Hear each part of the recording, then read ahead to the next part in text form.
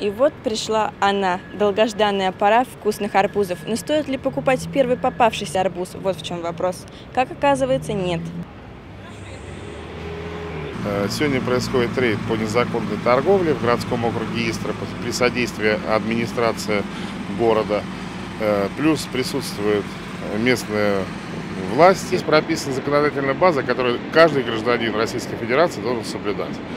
На сегодняшний момент э, люди не хотят э, прислушиваться к рекомендациям. Как вы видите в этой точке, э, на сегодняшний момент нет ничего положительного. Тем более это находится на э, центральной площади. Рекомендую вдоль трасс вообще ничего не покупать. Лишь по одной причине, что э, доказ- э, есть доказательная база рекомендаций, что выхлопные газы впитывают, особенно в бахчевые. Плюс ко всему не покупать на развалах, потому что никто не знает, откуда это и что. Потому что, к сожалению, не каждый продавец может предоставить сертификат или еще что-то либо. Я просто желаю всем потребителям быть более бдительными. Это наше здоровье на самом деле. Я тут родилась, я тут выросла, я тут живу. Я прекрасно знаю, сколько точек у нас гораздо в более худшем состоянии. А что вас сейчас обижает, скажите? Ну, Ну, вы мне сказали, что вообще полностью. В принципе, у меня все, у меня на земле ничего не стоит, все стоит на поддонах. На поддонах даже нельзя. Почему Слушайте, это? рядом проезжая Открой- часть. Открой- откройте смущает пра- вообще правила никак? торговли. Под Работью в Московской области сейчас есть стандартные образцы торговых точек несанкционированных, где должны быть определенные ячейки, куда перекладывается из транспортировочной тары.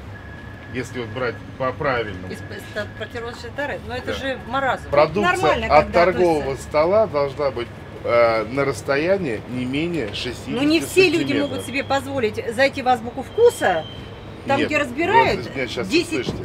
На земле, слышу. на земле ничего не должно находиться. Прилавок должен быть на высоте 60 сантиметров в крае.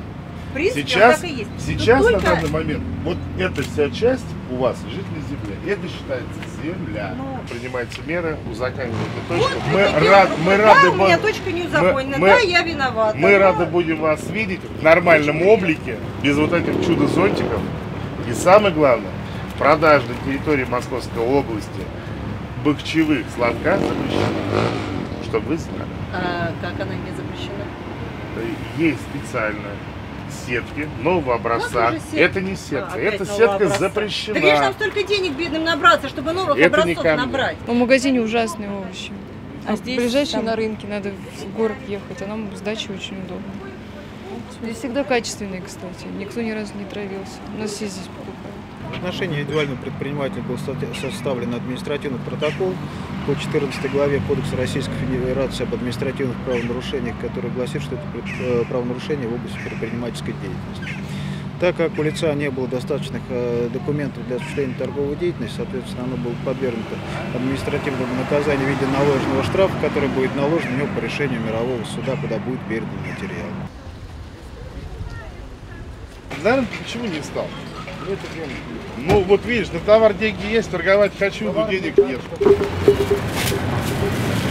Уважаемая, машина кого оформлена? Курсаков он живет.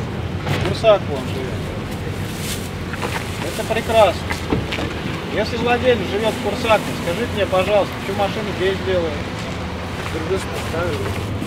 Ребята поставили? Да я ему попросил, да. Да?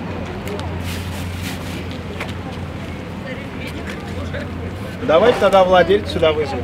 Если внешний вид точки отличается от регламентированного, высок риск отравления некачественной продукцией.